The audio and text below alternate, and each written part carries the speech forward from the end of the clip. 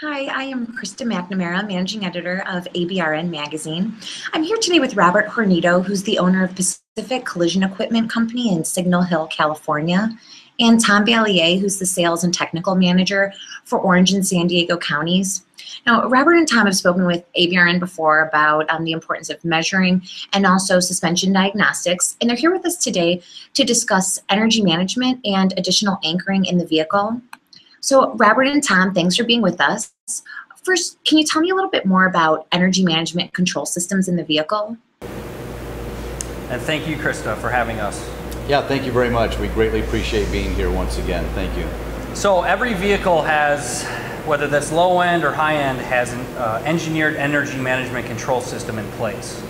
Yeah, every hole, every bend, every fold, every convolution on the sheet metal is engineered specifically to absorb energy, transfer energy, and move it away from the cockpit area so that the occupants are safe and secure.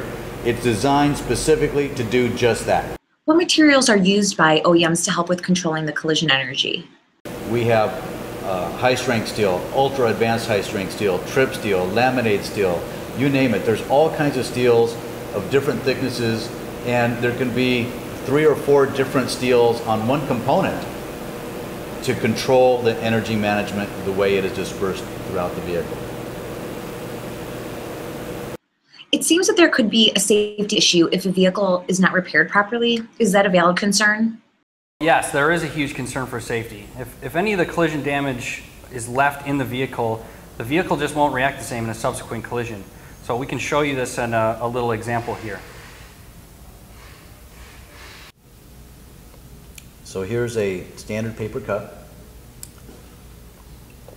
I'm going to put as much downward pressure as I can on it and it doesn't collapse. If I induce just a little bit of damage, it collapses very easily. So improper repairs or even unaddressed damage on a vehicle can really have a huge impact in the event of a subsequent collision. Krista, that's exactly what we're talking about. That's when people get hurt, when stored energy is left in the vehicle. So let me show you a quick video that Honda produced. This explains everything.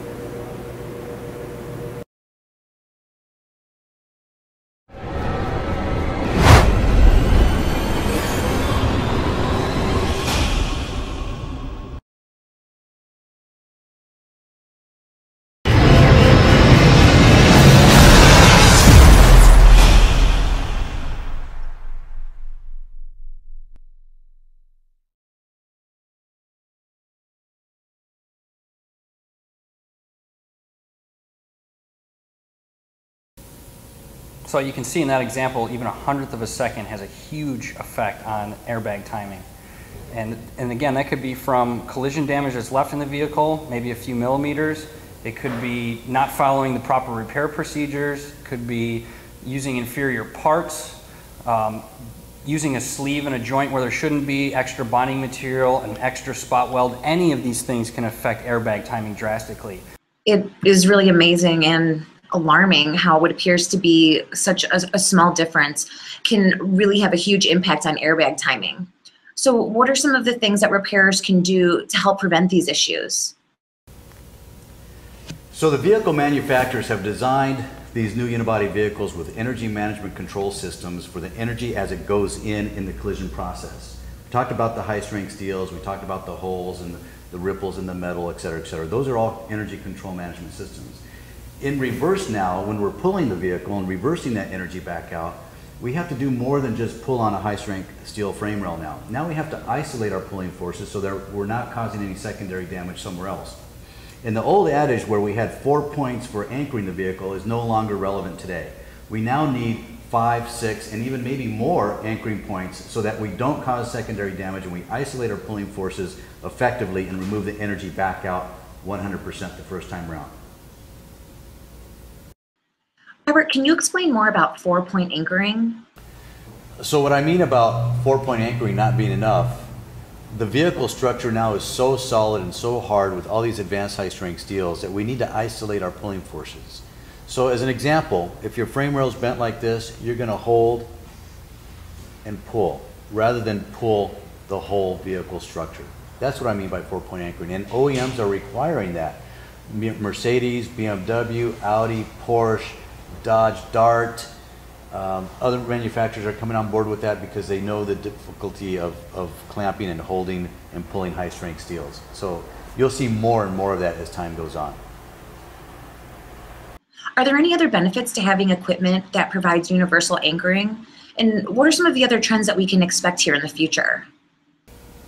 So in addition to using the EVO universal fixturing system to isolate our pulling forces, we can also utilize that for parts replacement. So whether the, it's a whole rail section or just an end cap, it's a real easy and simple system to set up and use. Yeah, absolutely. And as you can see on the screen here, we have one, zero, and one. So you're able to dial it in to the OEM required specification, regardless as to whether it's high strength steel, aluminum, or carbon fiber, which one of those three is going to exist on every car that you're going to deal with now and in the near future. Uh, you're going to have to bench and fixture every single car. So the trend is to have a bench for every technician in order to be profitable. Something to consider down the road. Do you anticipate it will take longer to repair vehicles this way? Krista, that's an excellent question. I, I like that question very much. Um, I don't think it's going to take any longer to actually repair the vehicle. You're going to have more time in the setup process. You're going to be more detailed as far as where it's going to go and how it's going to go. But the repair time is going to be much shorter because you know exactly what to do. Very simple.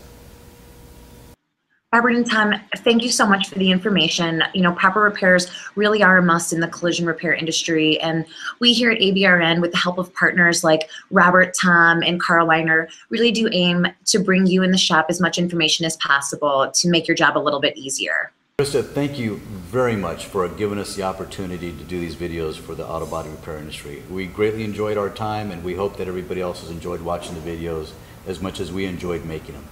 Yeah, thank you very much for your time and your effort. We do really appreciate it. To see more videos from Robert and Tom, you can visit abrn.com backslash Carliner suspension check and abrn.com backslash Carliner video. Thanks so much for watching.